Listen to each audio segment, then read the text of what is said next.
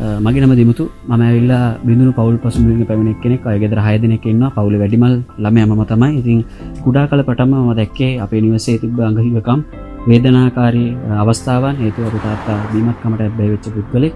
ඉතින් කුඩා කල සිටම මගේ ජීවිතේ කිසිම අරමුණක් නැතුව පවුලේ අයට මං ගැන ප්‍රේමයක් දක්කන්න වෙලාවක් නැතිව ඉන්න අවස්ථාවද මටත් ඒ ප්‍රේමය අවශ්‍ය වෙලා අවශ්‍ය වෙලාවදී මම මේ ප්‍රේමය හෙව්වේ යාළුවන් තුළින් ඉති යාළුවන් එක්ක වැරදි දේවල්වලට යමුණ වැරදි ක්‍රියාවන්නවලට යමුණ ඉතින් ජීවිතය කිසි අරමුණක් නැතුව ඉන්න අවස්ථාවත් මට දවසක් යේසුස් වහන්සේ මුණ ගැසුණා යේසුස් වහන්සේ තුළින් මගේ ජීවිතයට බලාපොරොත්තුවක් තිබෙන බව මගේ ජීවිතයට වටිනාකමක් යේසුස් වහන්සේට දෙන්න පුළුවන් බව මම දැනගත්තා. ඉතින් මගේ ජීවිතේ මම යේසුස් වහන්සේට බාර කරා.